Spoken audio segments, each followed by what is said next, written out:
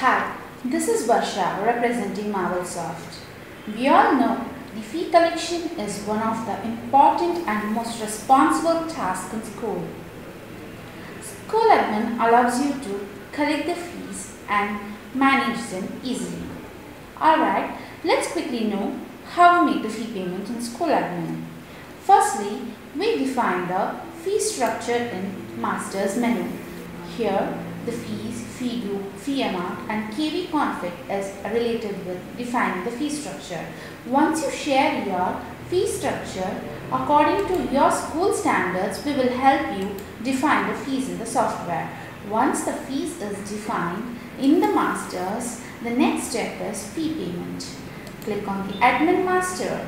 This is where you collect the fees.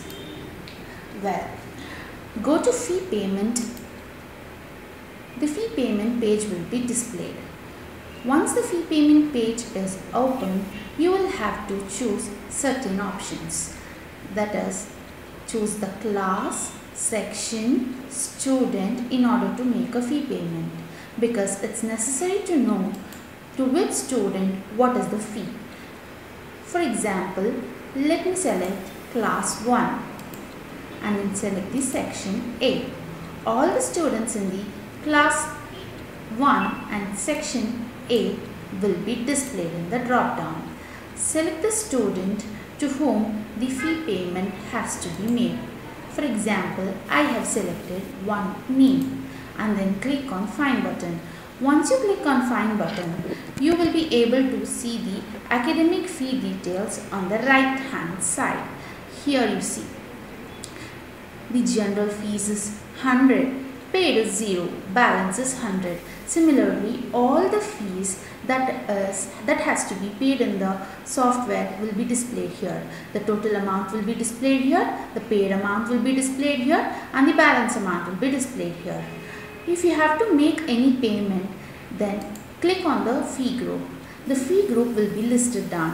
Whichever the fees the student is going to pay click on that particular fee the amount defined for that particular fee will be displayed as shown on the screen.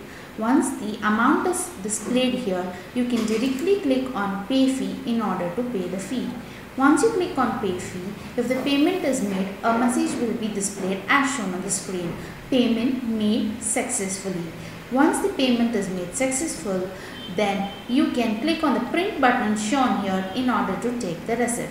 Similarly, if you have to collect another fee of for the same student, then choose the respective fee. For example, I will choose general fee. Once you click on general fee, the amount for general fee will be displayed that is 100 rupees. So click on pay fee and then the payment made successfully message will be displayed. Once the fees is paid, you can reset if you have to check whether the fee payment is actually made for the student then select the class section and the student name in order to know what is the fee payment that is made for the particular student. Okay, now I have selected the same student and I'll click on find button. When I click on find button, here you can see that the fee payment that I made earlier is being shown here.